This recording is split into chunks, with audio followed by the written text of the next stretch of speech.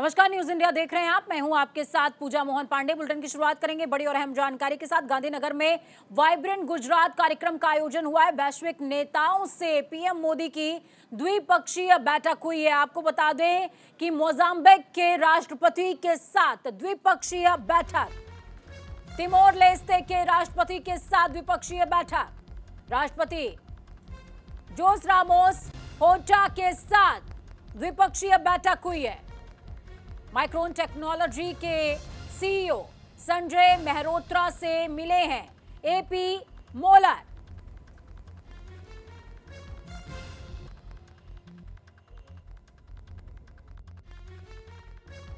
गांधीनगर में वाइब्रेंट गुजरात कार्यक्रम का आयोजन हो रहा है, जिसे लेकर पीएम नरेंद्र मोदी दुनिया भर के 36 देशों के वैश्विक नेताओं के साथ द्विपक्षीय बैठकें कर रहे हैं। गांधीनगर में हो रहे इस कार्यक्रम को लेकर पीएम मोदी ने तिमोर लेस्ते के राष्ट्रपति के साथ द्विपक्षीय बैठक की है तो वहीं एपी मोलर मास्क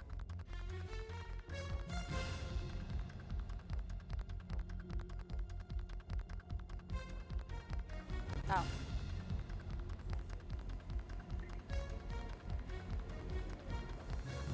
तो आपको बता दें कि वाइब्रेंट गुजरात समिट के पहले वैश्विक नेताओं से द्विपक्षीय बैठकों का दौर।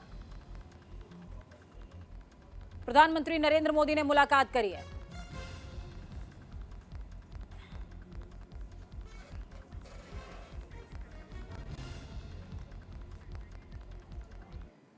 तो चलिए ग्राफिक्स के ज़रिए आपको बताते हैं कि क्या कुछ है Gujarat vibrant summit PM Narendra Modi कई वैश्विक नेताओं के साथ में द्विपक्षीय वार्ता कर रहे हैं। गुजरात को और वाइब्रेंट यानी कि वोकल करने के लिए ग्लोबलाइज करने के लिए इस समिट का आयोजन हो रहा है। द्विपक्षीय वार्ता हुई है 10 जनवरी को PM Modi vibrant Gujarat global trend show का शुभारंभ करने वाले हैं। पीएम मोदी ने मोजाम्बिक के राष्ट्रपति फिलिप जेंसिटो न्यूसी के साथ में द्विपक्षीय बैठक करी है। इसके साथ ही आपको बता दें, पीएम मोदी ने माइक्रोन टेक्नोलॉजी के सीईओ संजय मेहरोत्रा से भी मुलाकात करी है। संजय मेहरोत्रा ने बैठक के बाद कहा कि हमेशा की तरह प्रधानमंत्री मोदी के साथ एक उत्कृष्ट बैठक हुई है।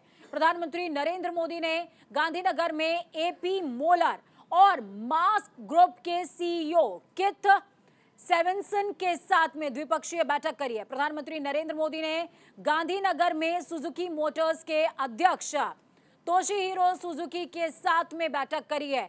पीएम मोदी ने डिकिन विश्वविद्यालय के कुलपति प्रोफेसर इयान मार्टिन के साथ भी द्विपक्षीय बैठक करी। बैठक का दौर बेहद खास रहा है। प्रधानमंत्री नरेंद्र मोदी ने गांधीनगर में डीपी वर्ल्ड के CEO Sultan Ahmed bin Sulayem के साथ भी मुलाकात करी है। Vibrant Gujarat global trade show का शुभारंभ प्रधानमंत्री खुद करेंगे। 10 जनवरी को पीएम मोदी इसका उद्घाटन करने वाले हैं। ग्राफिक्स के ज़रिए आपको तमाम जानकारी दे रहे हैं। समिट में 10 से 12 जनवरी तक आपको चक्का चकाचौंध देखने को मिलेगी। खास बात क्या है? इसके साथ ही बड़ी अपडेट आपको दे दें। 22 जनवरी को अयोध्या में प्राण प्रतिष्ठा कार्यक्रम है और सूत्रों के हवाले से बड़ी खबर सामने आ रही है। पीएम मोदी ने अपने मंत्रियों को नसीहत दी है। सूत्रों के हवाले से बड़ी खबर, बेतुके बयानों से बचे सभी मंत्री।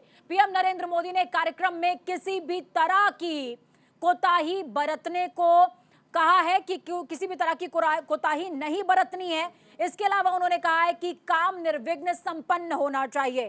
कार्यक्रम को भव्यतम बनाने की कोशिश करते रहे, ये प्रधानमंत्री करते नज़र आए हैं।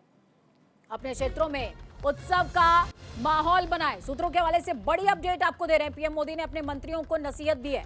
दो टूक शब्दों में कहा कि राम का काम है, विघ्न नहीं पड़ना चाहिए। और बेतुके बयान अगर सामने आए तो खैर नहीं। तो प्रधानमंत्री नरेंद्र मोदी जिन्होंने राम के कार्य का बीड़ा खुद उठाया है।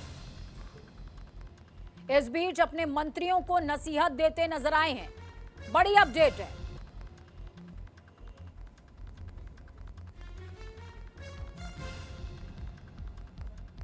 तो सूत्रों के हवाले से बड़ी खबर 22 जनवरी को अयोध्या में प्राण प्रतिष्ठा कार्यक्रम।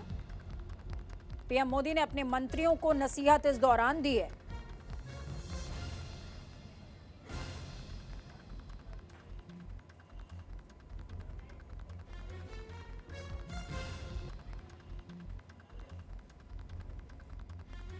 बेतुके बयान, देखिए, विपक्ष की तरफ़ से लगातार राम अयोध्या धाम को लेकर के अलग अलग बयान सामने आ रहे हैं। और ऐसे में इस तरह के बयान बीजेपी या एनडीए पक्ष की तरफ़ से सामने ना आए, इसको देखते हुए प्रधानमंत्री ने साफ़ और स्पष्ट नसीहत दे रखी है।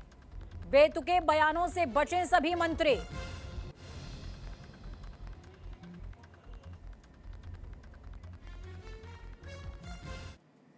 मुंबई में ईडी की बड़ी कार्रवाई हुई। उद्धव ठाकरे के करीबियों के ठिकानों पर छापेमार कार्रवाई हुई है। विधायक रविंद्र वायकर के ठिकानों पर रेड पड़ी है। सात जगहों पर ईडी की छापेमार कार्रवाई जारी है।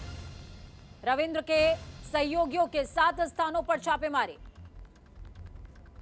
भूमि उपयोग की शर्तों में कथित रूप से हेरफेर करके जागेश्वरी में एक होटल के निर्माण के मामले में उद्धव गुट के नेता और विधायक रविंद्र वायकार और उनके सहयोगियों से संबंधित सात जगहों पर ईडी की रेड चल रही है।